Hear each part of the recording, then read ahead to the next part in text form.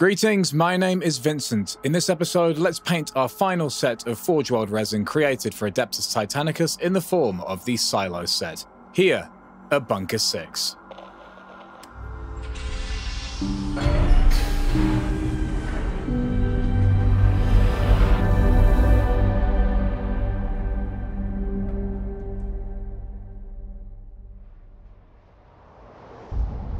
First stage was to prime the model in Ace Hardware Grey Primer.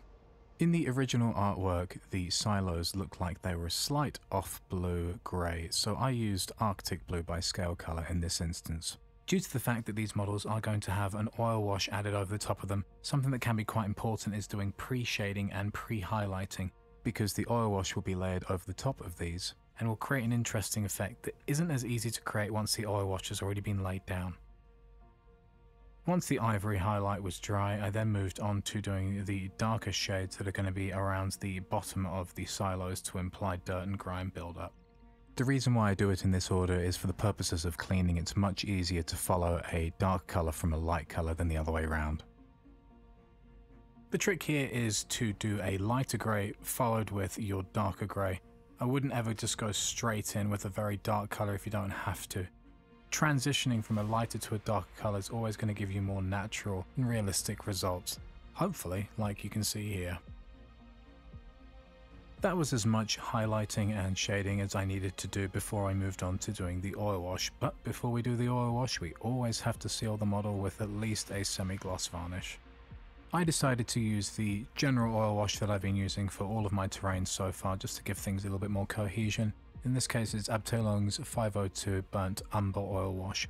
Just used a little bit of thinners and then made sure that when I applied everything I was putting it on quite thinly so there wasn't too much oil buildup, making drying times much more extended. The next stage was to clean up the oil wash. It's a very simple process, but it just takes some time.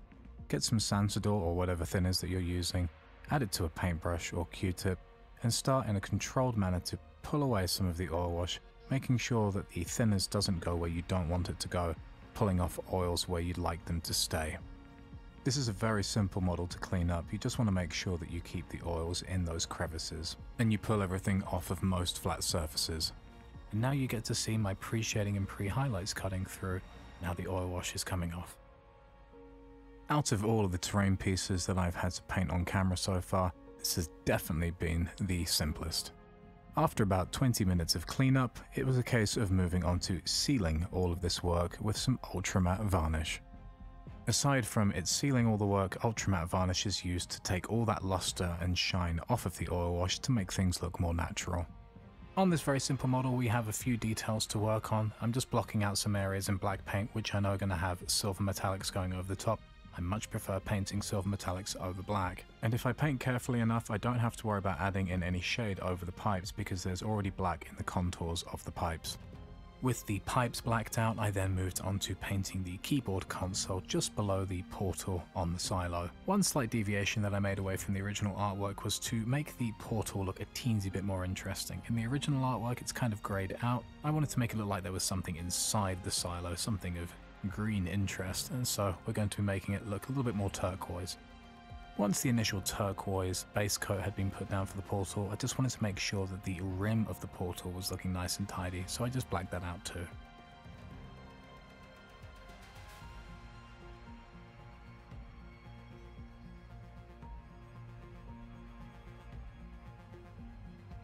I then turned my attention back to the keyboard console, where I just wanted to have a little bit more definition and depth, so I added a Nuln Oil wash over the top of the buttons. With the keyboard console definition added, I went back to the portal. And this is where we're going to actually start adding some highlights into the portal to give it a bit more of a reflective quality. Just to break it down even further, all I'm really doing is emulating the same kind of painting technique that you'd use to paint a lens on say a Space Marine or a Terminator helmet.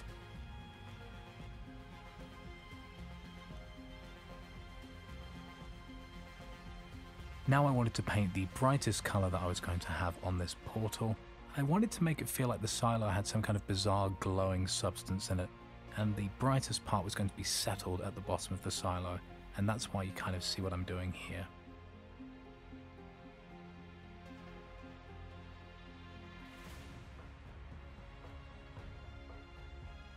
Once I was happy with all the highlights that I was adding into the portal glass, I then wanted to add some shade back in, so I moved my attention to the top of the portal, where I started pushing up black paint into the archway, and then finished off with a tiny dab of white paint, which implies this has a reflective quality like glass normally would.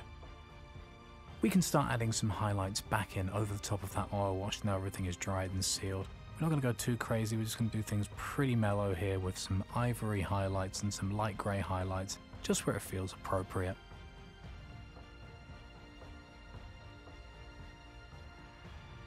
Aside from very bright highlights, as I mentioned a minute ago, we're just adding some light grey highlights in as well, really just to clean up a little bit more of the oil wash where it's been sitting on some of those raised ridges where we wouldn't want or expect that oil wash to be sitting. The best way to get these highlights back in on those ridges is just doing a very simple rudimental edge highlight with the side of your brush. I then turn my attention back to the console screen that's just sitting below the portal, with just adding a base coat of turquoise first. I then mixed in a little bit of white paint with the turquoise just to create some of the images that are going to be shown on the screen. And if you make any mistakes, you can always just go back in with the previous color to sharpen up the new highlight lines that you've created. And the last thing that we have to add to the screen to give it that glassy effect is just some white paint, just to give it that reflective quality that you'd expect. Now in previous videos I always like to mention how I don't use white and use ivory instead, but when it comes to something like glass that has to be highly reflective, that is when white will be used as an exception. With the majority of my base tones finished, I decided to move on to the metallics that were required along with the washes that would go with those metallics.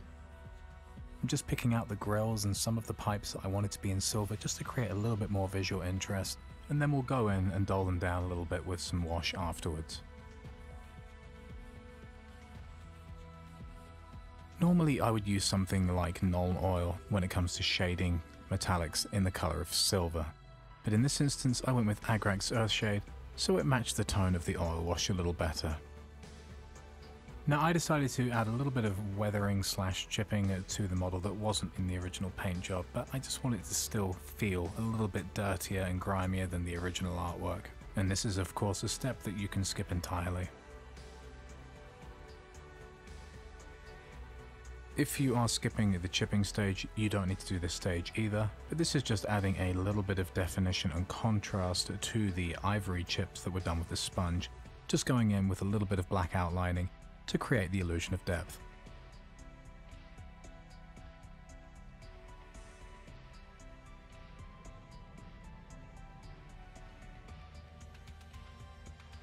Now this is just assumption and speculation on my part, but I think that Games Workshop slash Forge World used the exact same transfer that I'm about to use here for the silo, which is just this number 6 stencil. Just going to go through the normal process that I'd go through using distilled water, making sure that the transfer is nice and slippery on the backing paper before I apply it to the model itself, making sure that I dampen the surface of the model before I apply the transfer, and that transfer does not leave the backing paper until it is directly above the model it is being applied to. One little extra step I like to do is just seal the transfer with some varnish, gloss or matte, just to make sure that it is completely secure. One thing I like to do just to make transfers feel a little bit more part of their environment is either add some weathering or some washers or all of the above, just to make sure that the transfer doesn't feel like it's just been stuck on top of the model. So just a couple of dabs of oil and then just dragging this brush down to make the oil look like staining over the transfer just to sit it back a little bit. And the last model that we have to paint in this Adeptus Titanicus terrain range is this rather steampunk four-pronged domed silo. Now I don't know how the original paint job was done, but we're going to try our best anyway.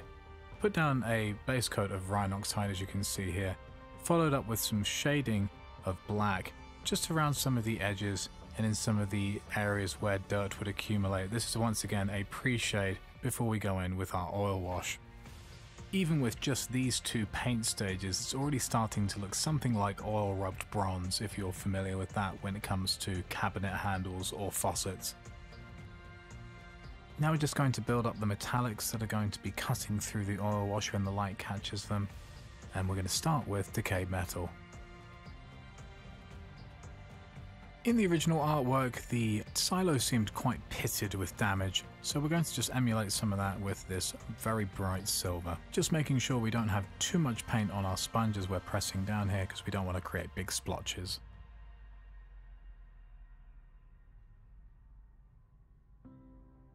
Aside from the super shiny silver pitting on the, the, silo, I wanted to add in some rich brass pitting too, just to give a little bit of variation to the surface. As soon as the oil wash is added over the top, it's going to create a little bit of uniformity and homogeneity with all the layers that are happening underneath, so I wasn't too concerned about the variation in tone. And before we add any oils, we're going to seal the model with some semi-gloss varnish. Now it's a Bunker 6 first, I finally used a different color other than burnt umber for my oil washes. We're using black now. I was a little bit apprehensive because this was very cheap oil paint, but it turned out just fine. I'm not sure if that's because of the thinners or actually there's not too much difference between oil paints. But I just used a variety of different abrasives from makeup brushes to regular dry brushes and some sponges to start pulling off some of that oil paint, creating some different textures and tones. I was really happy with how the cleanup process went. My attention was mainly targeted at the top of the dome and the top of the pipes because I'm assuming that's where the least amount of grime would be accumulating.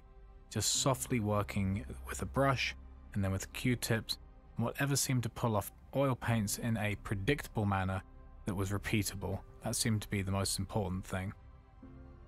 You can do a combination of stippling or wiping, it really doesn't matter, as long as things look and feel realistic. You can always try again with oil washes if you make mistakes. Just reapply the oil wash, wait for it to dry, and start wiping and stippling all over again. Now because there was a lot of shiny elements happening on this model from the metallics to the oils, I did three layers of matte varnish on this model. All the big chunky stuff on this model is finished, now it's just a case of moving on to the details. Thankfully, this is a very simple model, so the detailing that we're going to be doing is just on the rims and edges of the grills and things like that. Very minute stuff. So this shouldn't take too much longer.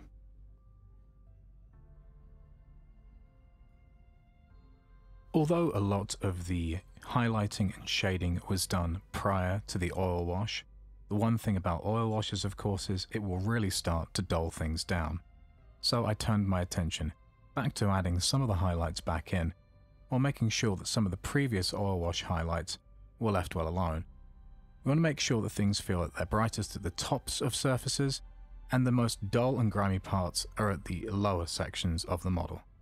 Just as you'd expect in real life.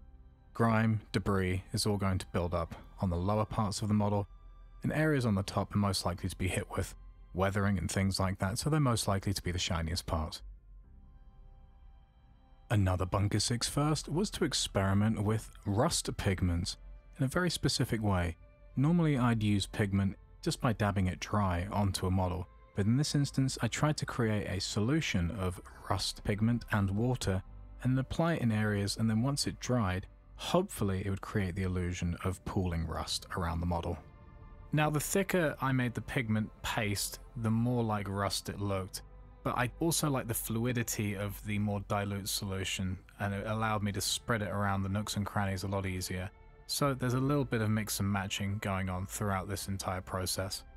Water is most likely going to be draining quickly from the top of the model and accumulating in the lower sections of the model. So the thicker paste was added to the bottom where water would be stagnating and accumulating, and the thinner solution was applied to the top of the model. A lot of the pigment worked quite well, but there were some issues where the pigment literally looked like it was sitting on top of the dome rather than being part of its environment.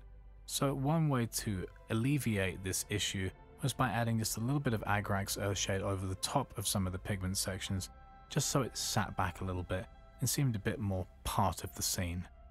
This didn't need to be applied to every single part of the pigment paste, just where it felt the most necessary and least distracting. One of the final elements that needs to be emulated from the original artwork is the smattering of verdigris. If you're not familiar, verdigris is a type of copper oxidization that can be found on elements such as the Statue of Liberty. it has a turquoise appearance. We're going to be using an official GW technical paint that recreates this verdigris effect.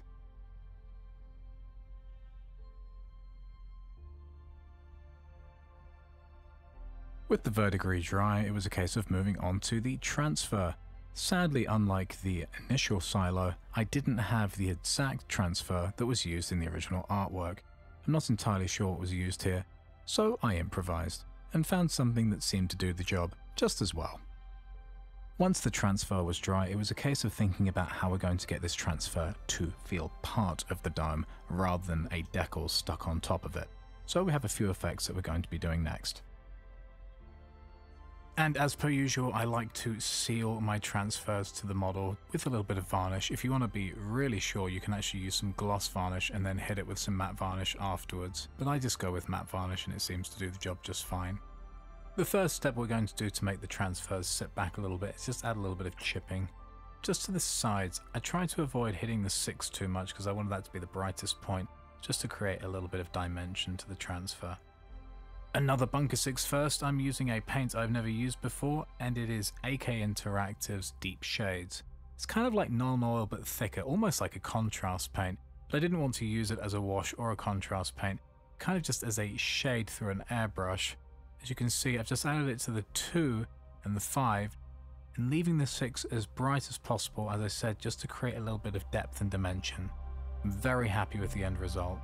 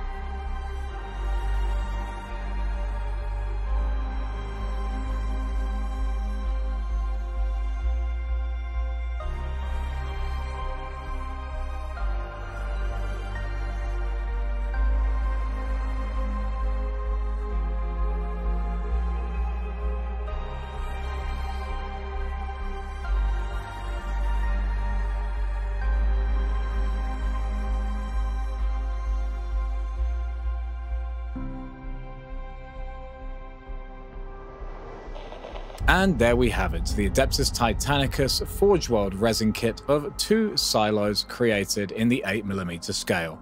Hope you enjoyed the episode and maybe learned something. If you're new here, I'd really appreciate it if you consider subscribing to the channel. And if you're already subscribed, thank you for your ongoing viewership. Until next time, I'm Vincent signing off from here at Bunker 6.